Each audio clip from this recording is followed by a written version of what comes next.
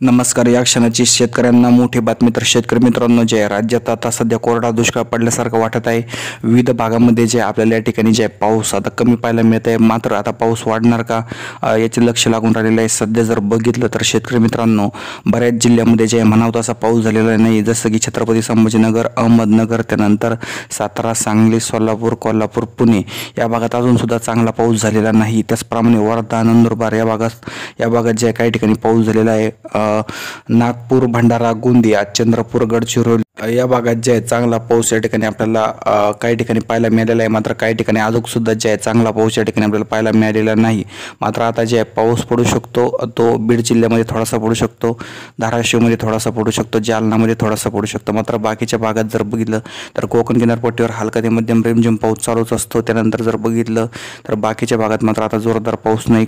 काही ठिकाणी कोरड्या दुष्काळासारखी परिस्थिती आहे. काही ठिकाणी जे रिमझिम स्वरूपाचा पाऊस अधूनमधून पडताना दिसत आहे. मात्र त्या पावसाचा काही फायदा होत नाही जास्त. एकंदरीत जर बोलले तर यावर्षी जे आहे दुष्काळासारखी परिस्थिती आहे.